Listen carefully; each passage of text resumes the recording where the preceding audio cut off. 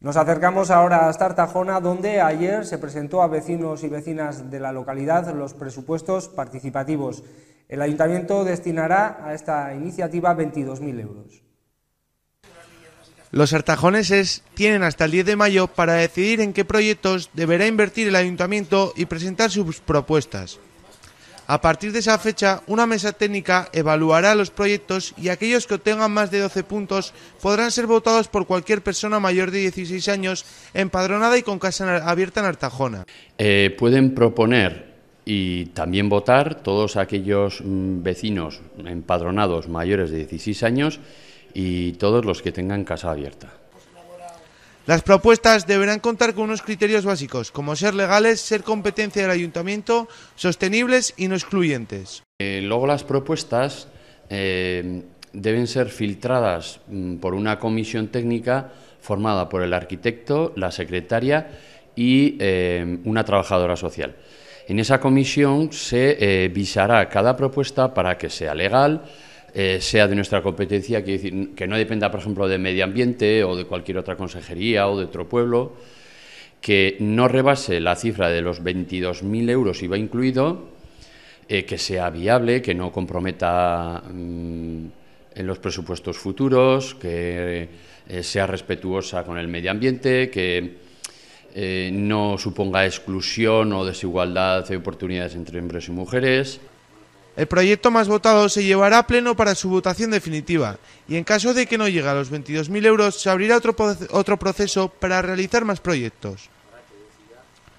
Desde el ayuntamiento se pretende que los vecinos se impliquen desde el principio en esta iniciativa. Tampoco sabemos el escenario final, ¿no? Eh, puede suceder que eh, salga una propuesta que tenga tanta cuantía que, que deje poco margen para las siguientes. Si, ese margen supera los 5.000, entonces, y deja, deja fuera la segunda y la tercera, por ejemplo, se abriría otro nuevo proceso.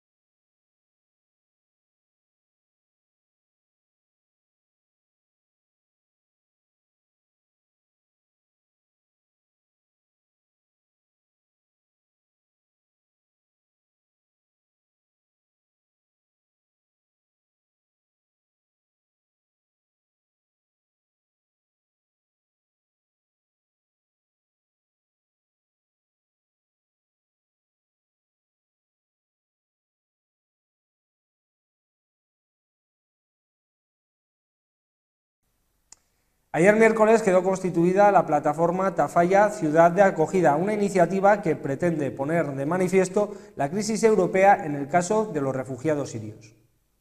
Alrededor de 40 personas participaron ayer en la primera reunión celebrada en Tafalla para formar una plataforma local en favor de la acogida de ciudadanos sirios, así como para impulsar actividades reivindicativas sobre la situación de estos refugiados.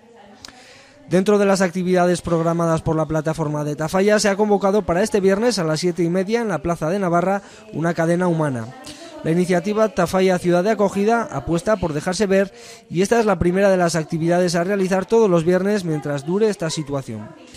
Hasta la sala de usos múltiples de la Casa de Cultura se desplazaron varios miembros de la plataforma Iruña Ciudad de Acogida y Estella Ciudad de Acogida para informar de la situación desesperante por la que atraviesan estos refugiados, en condiciones infrahumanas ante la pasividad de las instituciones europeas o estatales.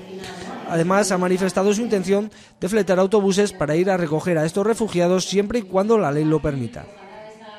Por otra parte, los asistentes han tenido la oportunidad de proporcionar sus correos electrónicos para estar informados de las actividades que se van a organizar en los próximos meses.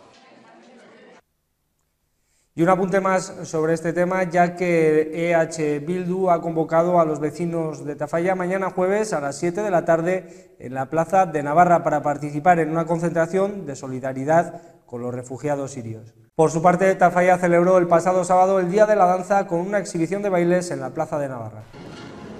Alrededor de un centenar de alumnas de la Escuela de Danza Aneira la de Tafalla bailaron el pasado sábado en la Plaza de Navarra para celebrar el Día Internacional de la Danza.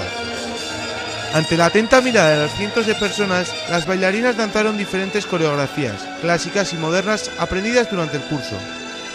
Todas, mayores, medianas y pequeñas, demostraron que el ballet clásico, mediante la coordinación estética de movimientos corporales, expresa sentimientos a través de gestos delicados y armoniosos.